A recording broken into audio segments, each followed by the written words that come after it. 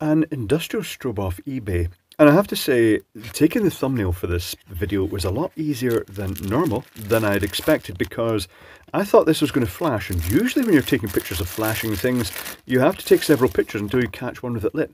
But this one ain't flashing. I thought it was going to flash. It does seem to have active circuitry visible through there.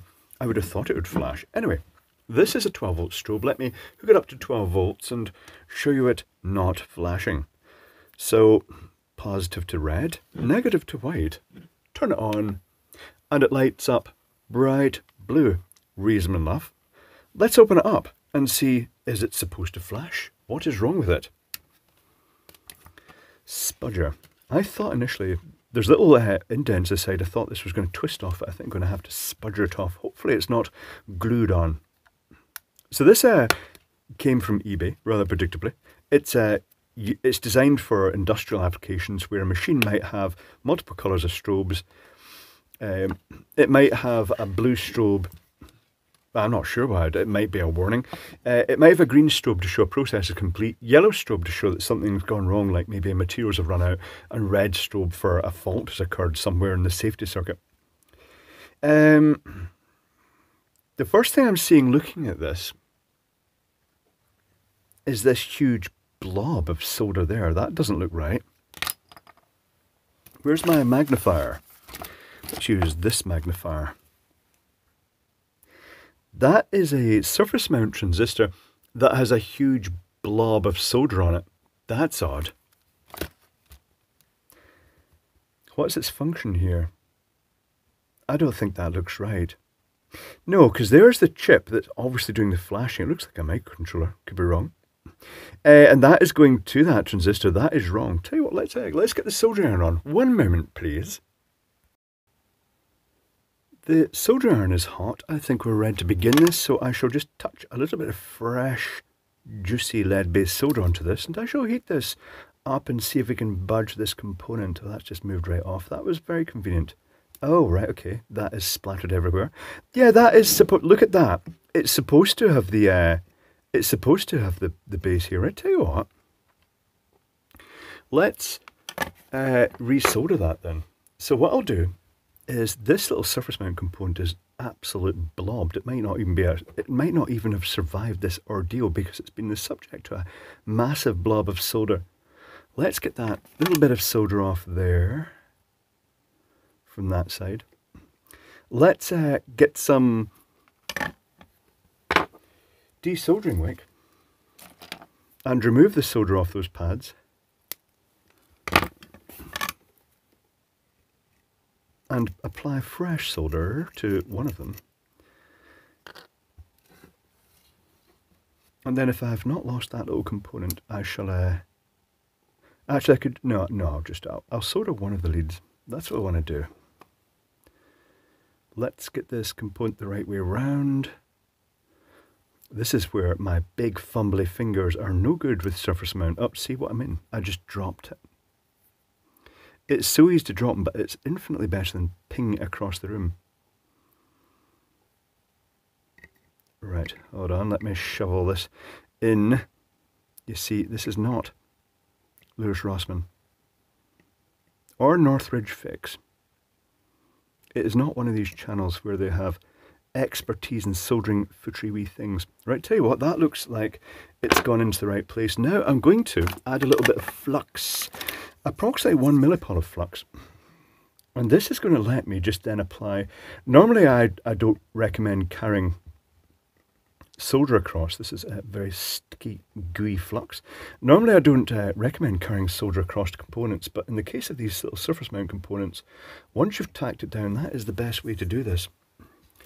Uh, so the flux is now on the component itself and I shall scoop a bit of solder onto the soldering iron and then when I touch it to that pin it should hopefully transfer in and solder that down. Let's go around the other side. Uh, same again, there's still solder on this. That should hopefully have gone onto that pad. And then just for good measure, I shall whiz it round the other way. See, this is where one of Louis Rossmann's microscopes would be really handy. I shall reflow that. Now, theoretically, if I have done things correctly, where is the power supply? Black to white, red to red. Is this going to work? Power. Uh, power supply on would be quite handy. One moment, please. Uh, a warning in advance, I don't know how fast this is going to flash, if it's going to flash at all. It's flashing. That's fine. Okay. Now we've fixed it, we can continue with the project and I shall take some pictures of this and we shall reverse engineer it. One moment, please. Here is a picture of the circuit board. You may also notice that the strobes are multiplying. There are now two strobes. The reason for that is that one of them, the DC one, the 12 volt DC one, just has a resistor and capacitor in the back. This one is a 220 to 240 volt one, and it has a dropper capacitor, a resistor, and a couple of capacitors on the back. The circuit board, however, if you compare the circuit boards, they're pretty much identical for both. There's very little difference other than certain components. So things worthy of note. The capacitor normally sits at the back of here on this side of a bridge rectifier. In the 12 volt one, that capacitor is not used, but they have included the bridge rectifier, which is also not used, which means they could have run this off 12 volt AC, but there's a reason they've, they've just put the 12 volts on this side.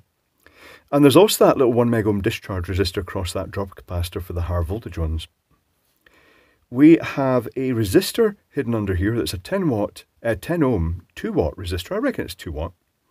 And then we have a smoothing capacitor position. And in the case of the 12, 12 volt unit, the smoothing capacitor is here. But in the case of the mains voltage unit, it's kind of spread across these connections. I think that's because they've used a slightly bigger capacitor, 220 uh, microfarad 25 volt, and there may not be enough depth in the case, so they've actually put it flat and they've just connected to these pads. There is a 7805 voltage regulator, and then there's a decoupling capacitor across that. That soldering doesn't look great there, does it? Um, but on the 240 volt one, there's another smoothing capacitor on this side, on the 5 volt side. There's a microcontroller with just three pins connected. The other ones are just floating in thin air. It's only got three pins connected, uh, 0 volt, 5 volts, and then the output going through a 1K resistor to a Y1 transistor, which then switches three circuits of LEDs. There are one, two, three, four LEDs in series with a 120 ohm resistor. And that is more or less it. Let's go to the circuit diagram. So I've got both versions on the same diagram here. In the case of the 12 volt one, the 12 volt connections are to here. Now, they could have put the 12 volt connections the other side of the rectifier, and it means it could have been 12 volt AC, or it wouldn't have mattered the polarity. But unusually, they've got four LEDs in series, and the 3 volt LEDs, they should have said the blue LEDs and the white ones, in this case, phosphor yellow, will add up to the best part 12 volts. So the 120 ohm resistors won't be dropping much. If they'd put the 12 volt DC on the other side of this, the rectifier would potentially have dropped uh, over a volt, and that would have actually affected the intensity greatly. So in the case of the uh, DC ones, it is connected there and there. It goes through this uh, current limiting resistor. If it's more than 12 volts, this Zener diode will clamp it down to roughly 12 volts. Then it's got the smoothing capacitor. Then it goes to the 78L05 voltage regulator, a really common regulator, not dealing with much current in this instance it goes over to that little decoupling capacitor uh, and that optional 220 microfarad capacitor. I wonder why they did that. Maybe the input from the main side was a bit spiky and it was crashing the processor. But the little microcontroller just has three pins connected. It has a resistor going to the Y1 transistor and then it switches the three clusters of LEDs. The mains voltage one is different both of them have that little 1 mega ohm resistor, both of them have the rectifier, but in this instance, they, it has a 820 nanofarad 400 volt capacitor there with that uh, 1 mega ohm discharge resistor across it. It feeds the bridge rectifier through this current limiting resistor, which in this instance is just an inrush limiter. And then it's capped to about 12 volts by this Zener diode, and then everything is the same. So one of them is a capacitive dropper, one of them doesn't, and there's no difference in price. So if you were wanting to get one and we didn't know what you were going to be using it for 12 volt or 240, you could just get the this one and you could actually just hook a couple of leads on the 12 volt, the output, the rectifier, um, and just hack and modify these to suit.